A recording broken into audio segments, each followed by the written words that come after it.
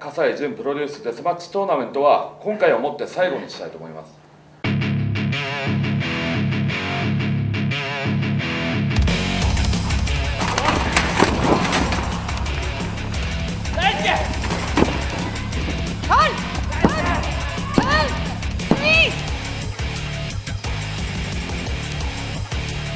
せっかくね大日本やめてこのデスマッチ新しいところのデスマッチなんで。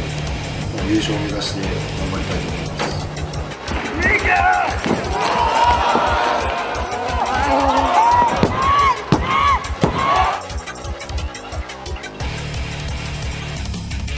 1回戦ウィンが勝ち上がってしまったので、まあ、2回戦もマイペースで頑張ります。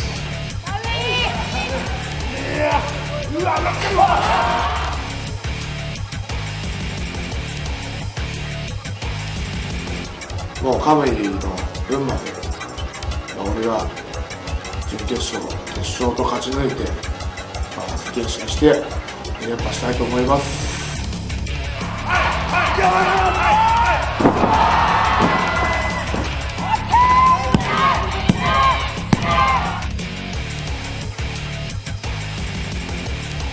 アメリカで CGW のこのデスマッチトーナメントで日本人初の優勝を遂げた葛西潤としてはもう優勝して当たり前です、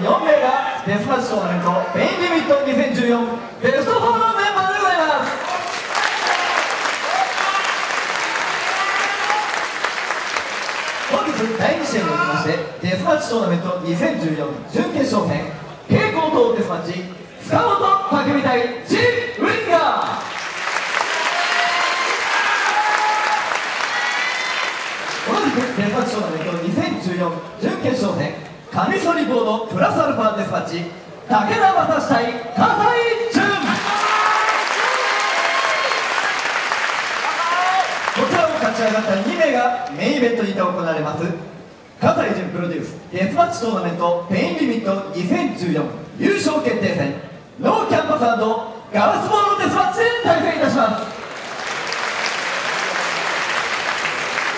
この夏最後の最も熱くそして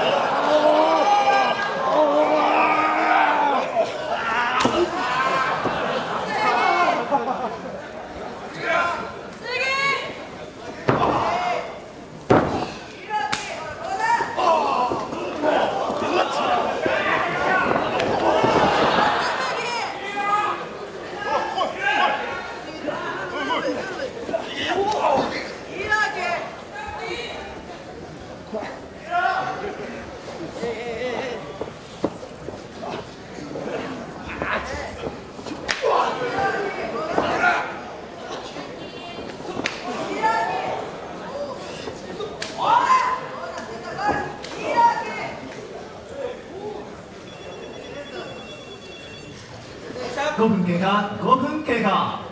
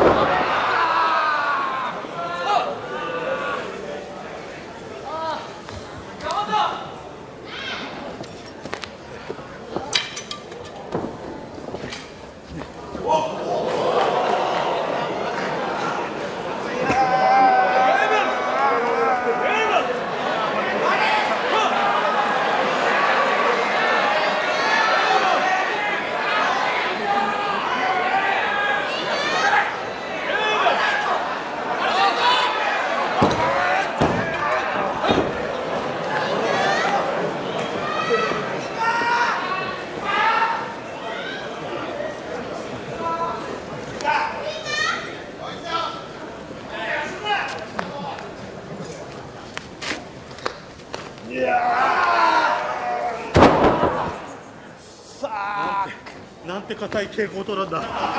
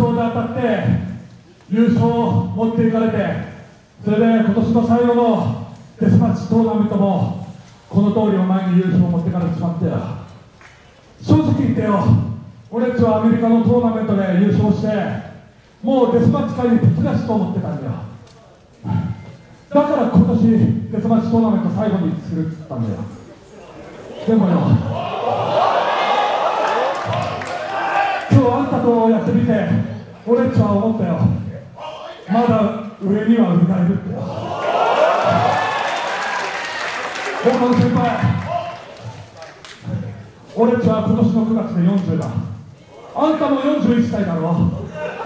正直よ、この間も思ったよ。城島茂君を見て思ったよ。まだまだよ、俺は40代、若い者には負けられねえってよ。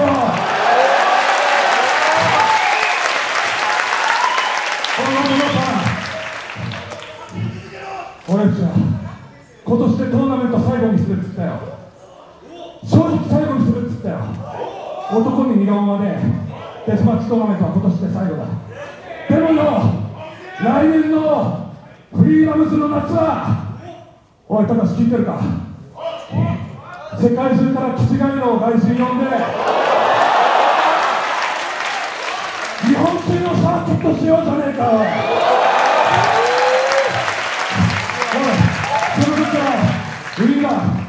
あんたも今日みたいに火山噴火させてくれよ。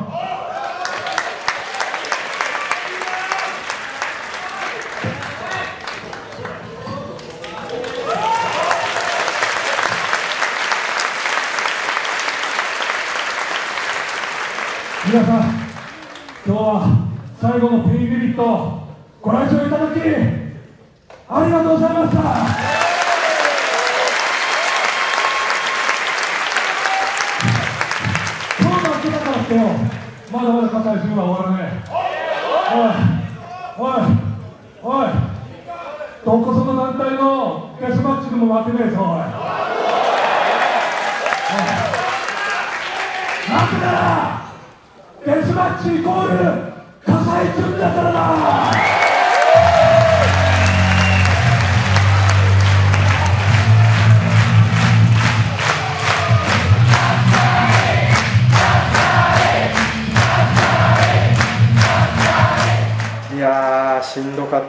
デスマッチ、うん、